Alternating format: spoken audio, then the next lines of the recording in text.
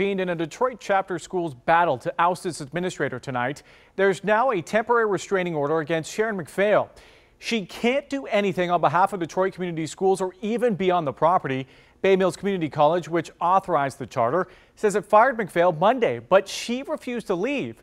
McPhail has a chance to argue against the court order at a hearing set for Tuesday.